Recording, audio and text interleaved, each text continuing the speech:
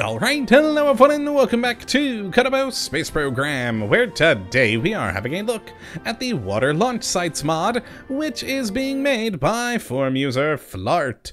And what this glorious little piece of work looks to add into the game is two new launch site locations over here on the shore, specifically made for, of course, launching boats and submarines. And that is a wonderful thing. So let's quickly jump in into the spaceplane hangar and take a look at these two different launch sites. And let me grab a uh, kind of awful looking boat that I made earlier, but hey, it floats and that's all I care about.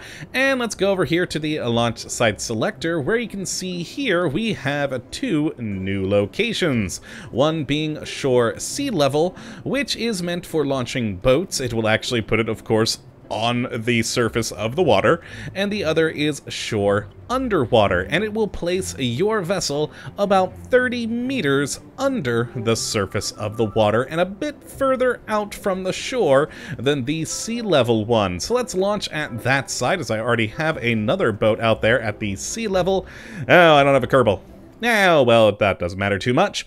We just need to get out here to uh, show off the locations. Now, as I said, we should spawn here underwater at about 30 meters, and we will slowly but surely make it up to the surface. And you can see about 150 meters behind us is another boat, and that is the location of the shore surface launch location. So they're just right in line with the underwater one being a bit bit further out. And you can see behind us we do have a few static objects as well to make it feel a bit more like a kind of harbor slash dock like area for you to enjoy. And I should mention at this point that all of these objects and also the spawn points rely on the Kerbal Konstructs mod as a prerequisite, and that does also mean these static objects back here, you can use Kerbal Konstructs to place them in the world to build your own little dock locations in other locales, which is pretty cool. Let me ask just a quick uh, look once more at these two locations. This is the underwater one here, and right here is the one for sea level. Now let's actually take a look briefly at the different static objects we do have. That's the launch site. There's, ah, perfect. That's the Kerbal I wanted to go to next. And the first static, static object to look at here is this lovely billboard, which actually shows you exactly where your boat's gonna be. It does have the locations from shore of our two different launch sites and even shows you the depth below the surface for your submersible. So a handy little billboard if you ever do forget where they will spawn. Now we also do have this cool looking tower right here, which sadly, uh, I'm a little bit disappointed in a thing here, we can't go up into. There is an elevator down at the bottom here, but we cannot interact with it in any way, shape, or form, which means our Kerbal is stuck down there on the bottom. It'd be really cool if we could go up there, but that doesn't seem to be the case. Now, there is a slight glitch involved with this. I found this out earlier if you do leave a Kerbal on this platform right here, leave the game and then come back, he'll, um, he'll be on top of the thing, not inside the tower, but rather on top of it. That was rather hilarious, and thankfully, the Kerbal can survive the drop back down to the surface. but yes, uh, it would be cool if we could go inside of that, but oh well, what are you gonna do? Now let's go to the next Kerbal that I have. Nope, that's the wrong way. There we are.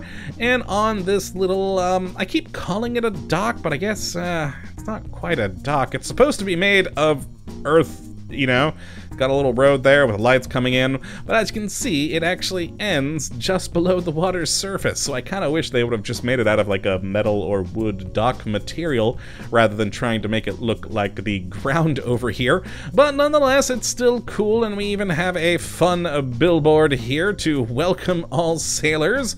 And of course, what happens at, at sea stays at sea. So a fun thing there. And uh, the same billboard is on the other side. And all in all, it's uh, not exactly the most complex little dock area ever made, but you know what?